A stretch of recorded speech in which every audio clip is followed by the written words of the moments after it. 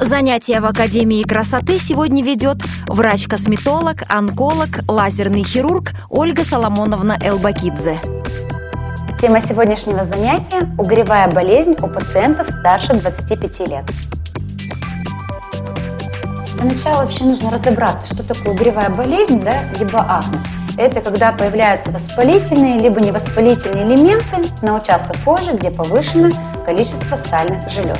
Причин возникновения угревой болезни может быть несколько. Конечно же, это стресс.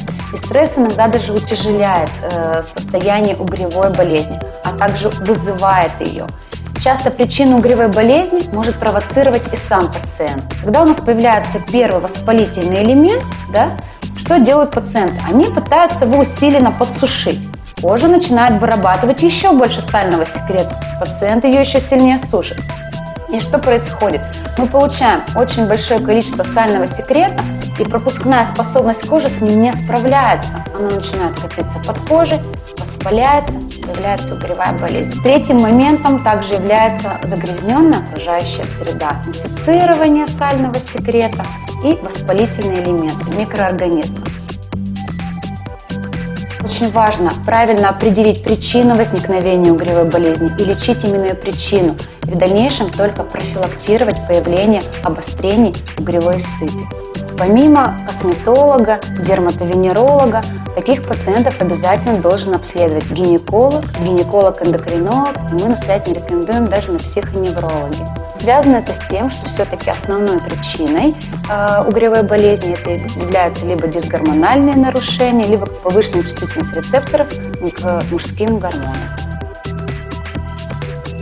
Лечение угревой болезни состоит из нескольких компонентов. Это аппаратные методики лечения, это инъекционные методы лечения, лекарственная терапия и уход, домашний уход. Э, к аппаратным методам лечения мы относим ультразвуковую чистку, когда с помощью ультразвука мы прочищаем поры, избавляем пациентов от комедона от э, скопившегося сального секрета. С помощью лазера мы снимаем воспаление, которое присутствует в коже, убиваем бактерии акне, убиваем микроорганизмы, которые вызывают нагноение и воспаление. К инъекционным методикам мы относим плазмолифтинг, либо PRP-терапию и карбокситерапию. С помощью данных методов мы повышаем иммунную систему, мы снижаем воспалительный, также цель омоложения, увлажнения кожи и сужения пор. А, с помощью лекарственных препаратов мы снижаем выработку сального секрета, частично, даже я бы сказала, убиваем сальные железы, которые чрезмерно вырабатывают сальный секрет.